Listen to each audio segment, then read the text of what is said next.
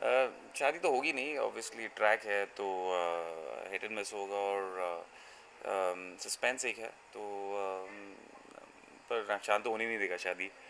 तो I think play out बहुत अच्छा है इस सीक्वेंस का और बहुत इंटरेस्टिंग है। तो अभी हम वही सीक्वेंस शूट के आगे की स्टोरी हमें भी नहीं पता है ऑनेस्टली स्पीकिंग बहुत कुछ होने वाला है पर इतना पता है। तो अभी कल तक कल परसों में हमें पता चलेगा एग्जैक्टली हम आगे क्या करने वाले हैं। अच्छा वैसे इस ट्रैक में सबने हर पिक्चर का नाम ले लिया सीता और गीता जुड़वा। हम्म। लेकिन मतलब विराट को तो पता नहीं है कि वो मशीन है। तो क्या सच में ऐसा कुछ होने वाला है कि दूसरी कोई रजनी दिखने वाली है? आपको तो देखना पड़ेगा आपको रुकना पड़ेगा उसके लिए। आई डोंट थिंक सो इतने जल्दी कुछ रिवील कर पाएँगे हम। पर होप uh, सो so नहीं होगा ऐसे बिकॉज़ रजनीत ने तो इतना अच्छा काम किया अभी तक। तो uh, देखते क्या होता है।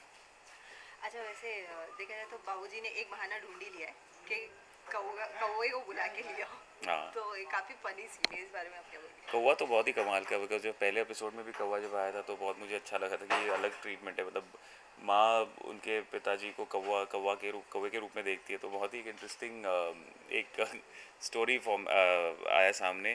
तो अभी वही कौवा बार बार बचाता है हमें तो अभी अभी भी बचा लेगा अभी शायद। Thank you thank you thank you